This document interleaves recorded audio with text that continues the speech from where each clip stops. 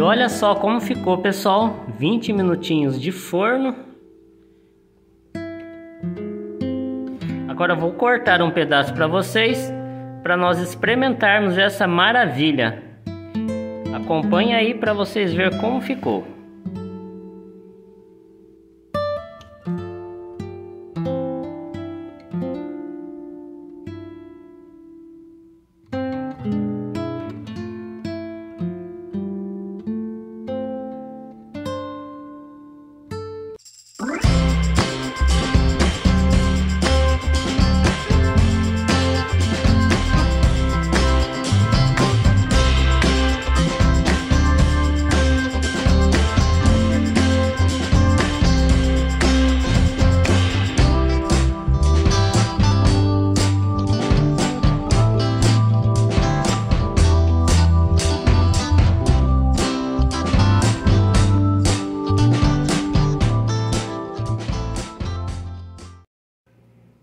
Olá pessoal, trazendo mais uma receitinha para vocês.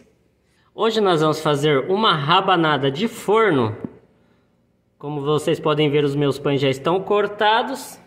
Fatias de mais ou menos, tá pessoal? Um centímetro e meio, dois centímetros de espessura.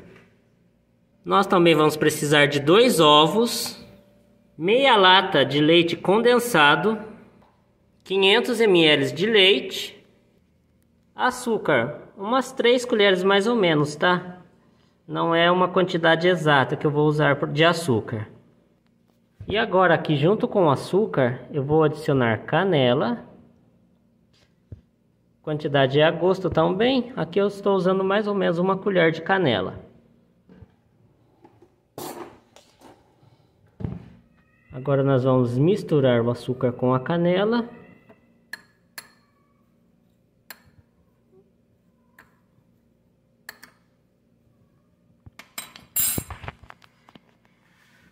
Feito isso, vamos começar o preparo da nossa rabanada.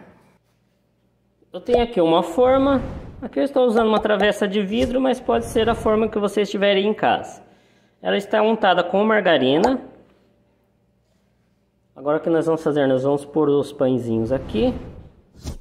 A quantidade de pão, eu não falei porque vai depender muito da forma que vocês vão usar. É o pãozinho de ontem, tá? O pãozinho que sobrou do café da manhã de ontem. Pôr todo aqui na travessa, um do ladinho do outro.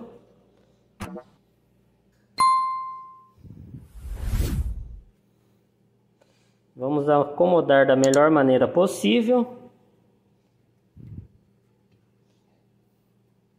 Vou pôr mais bonitinho no lugar. E esse daqui também eu vou trocar.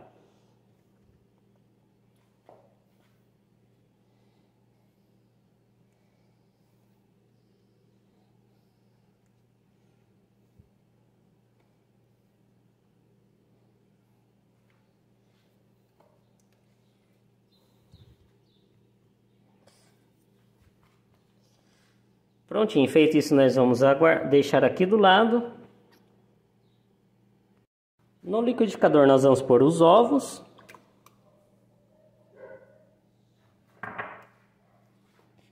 O leite.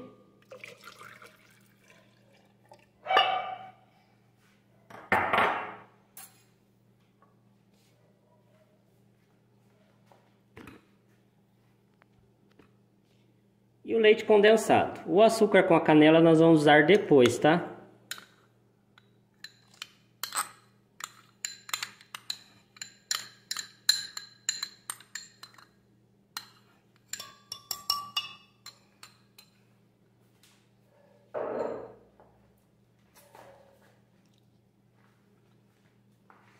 Agora é só bater bem rapidinho também.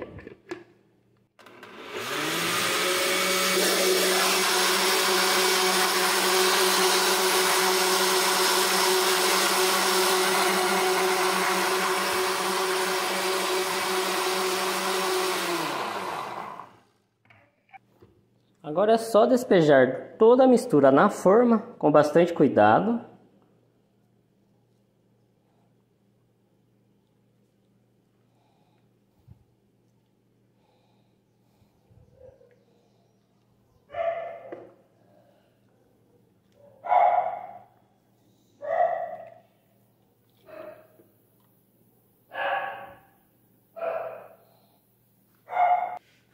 Agora é só polvilhar o açúcar com a canela por cima.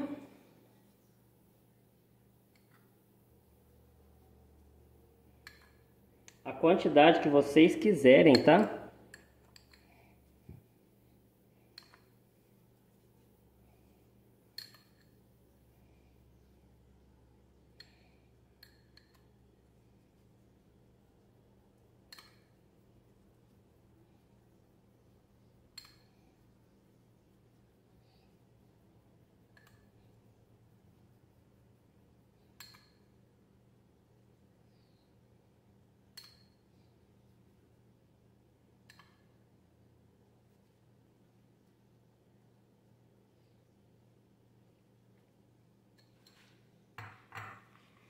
Prontinho, pessoal. Agora é só levar ao forno, forno a 180 graus, por uns 20 minutinhos mais ou menos.